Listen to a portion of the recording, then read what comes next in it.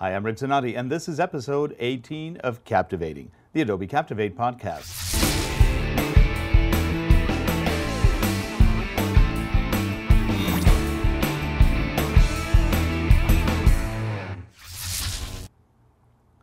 You asked for it. You wanted it. You needed it. And Adobe finally gave it to you variables.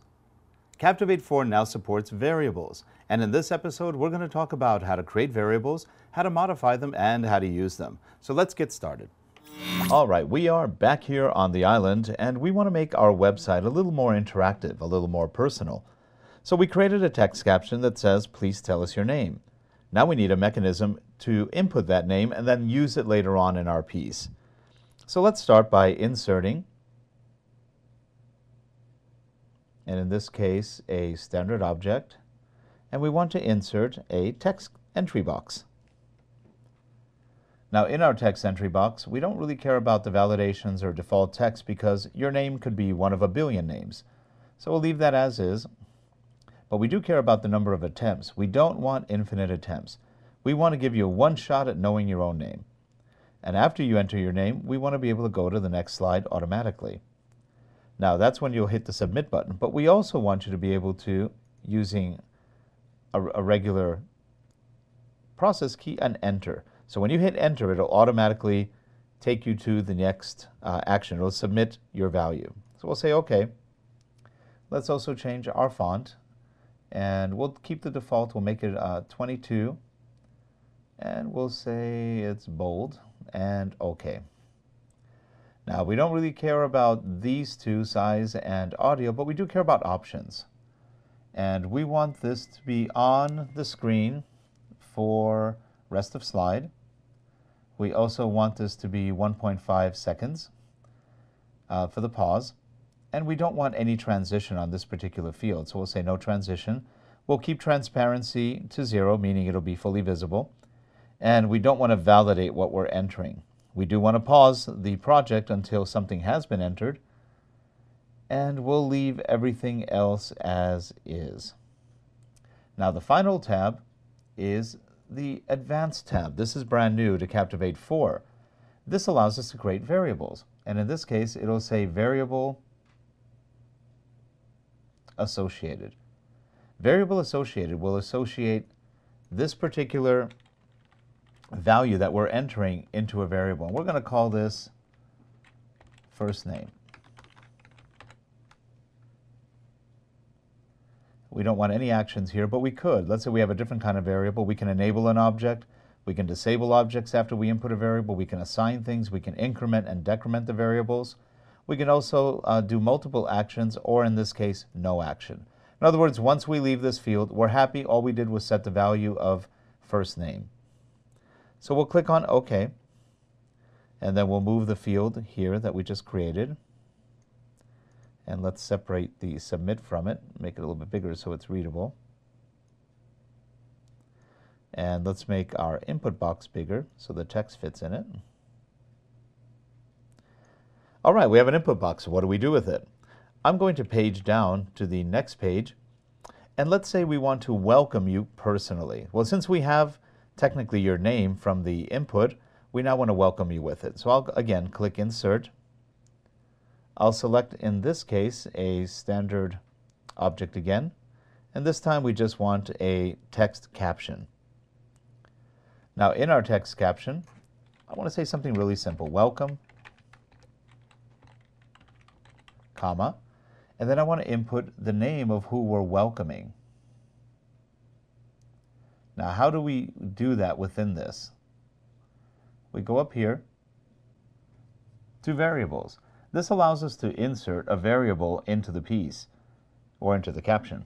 I'll click there and it gives us a choice. We can use a user-defined variable. In this case, we have first name and there are several other variables. We have traveler as well as v first name. We'll just choose the first name one. We'll say it's 15 characters long, good enough. If you have a longer name, make it longer. Um, you can also choose from system variables. Now here you have a whole slew of variables that you can choose from, and you notice there's quite a few. but in this case, we do want a user variable, which is first name. I'll click OK.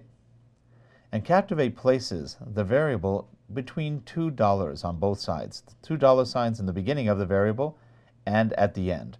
When Captivate sees the two dollar signs, it replaces the value with the variable value that you entered in your input box.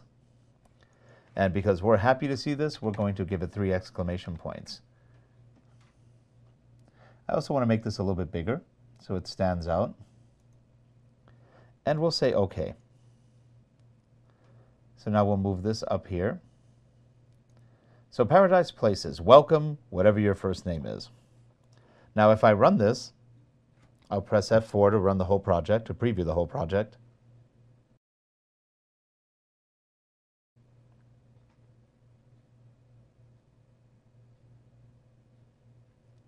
Captivate will prompt us for the name here.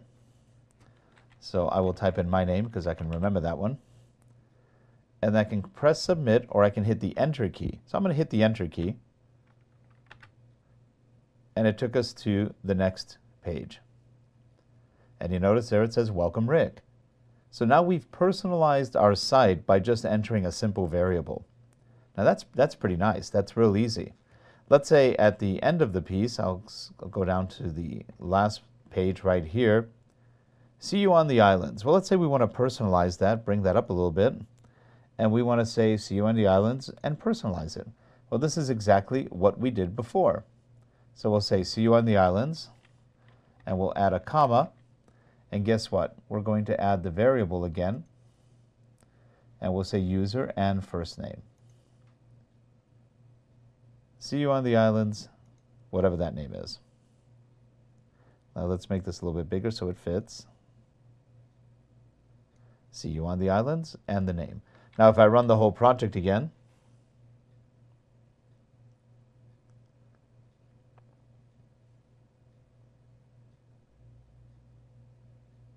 Now this is just one application of what you can do with variables. Obviously, there's a ton of things you can do with it. But for right now, we just wanted to introduce the concept. Again, let me put my name in. And this time I'm going to submit it. And it takes us to our main menu and welcome, welcomes me again. And let's say I just want to say bon voyage. See you on the islands, me. And there you have it, a really simple way to look at variables. Now to actually see what variables you have in your project, you go to Project, you go to Actions. And then in Actions, there are two tabs, Variables and Advanced Actions, which we'll cover in a later podcast.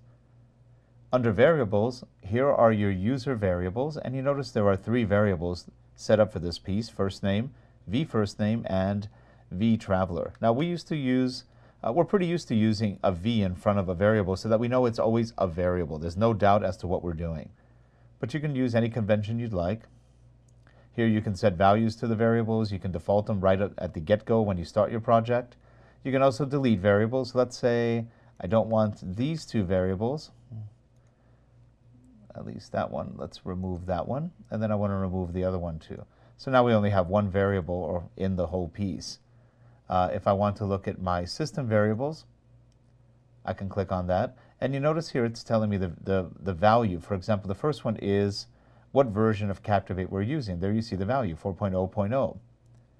So if these variables are available or if they're already marked, you'll see their default values right there inside of Captivate.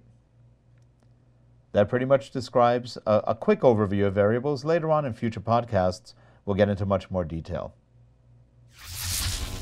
In our next episode, we're going to talk about advanced actions and how you can use variables and advanced actions to create compelling and more powerful Captivate pieces. For Captivating, I'm Rick Zanotti. Thanks for watching and subscribing. And remember, send your comments and requests to captivating at relate.com. See you next week.